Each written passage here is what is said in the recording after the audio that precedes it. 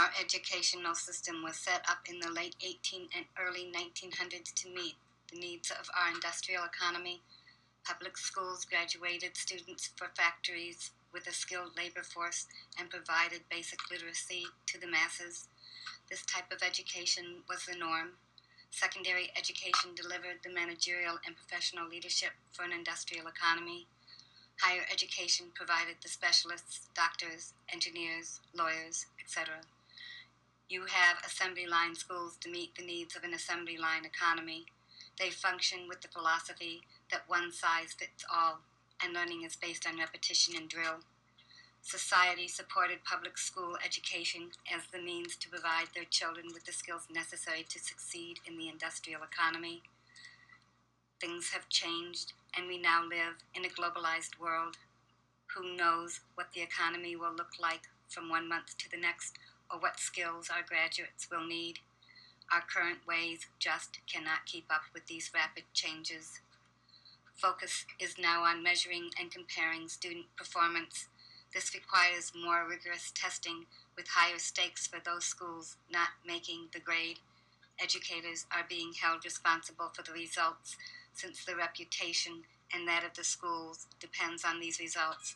Educators use curriculum that teaches to the tests, and still we fall behind. So now we have the Common Core state standards, which will change nothing if we focus on meaningless standardized tests. Schools are not preparing our children for a successful, happy future, nor expanding their possibilities in life or enriching their experiences. Our children spend the first five to six years of their life exploring and discovering learning. They start school and are expected to conform to a mold that they may not fit them. They see little or no benefit to their learning.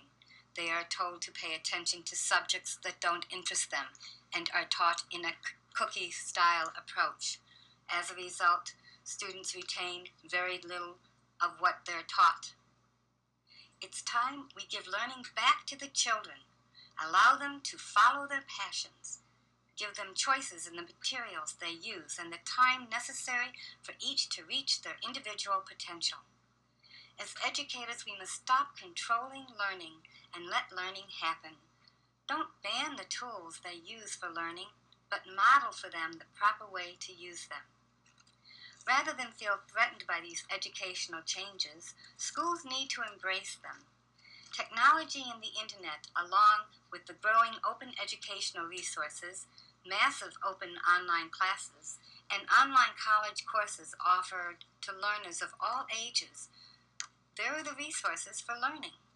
If our community, our nation, our world is to survive, education must take leadership in the community.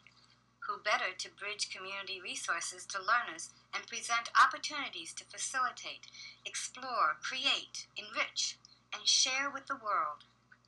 Rather than organizing the school by grades, organize the school by topic science, art, English, shop, whatever. This frees educators to follow what they're most passionate about and share it in ways that ignite and excite learners, regardless of age. We need just open our eyes and see what lays before us. If we are to keep up with the rest of society, education must make these changes now and stop being in competition, but in collaboration for the good of the world.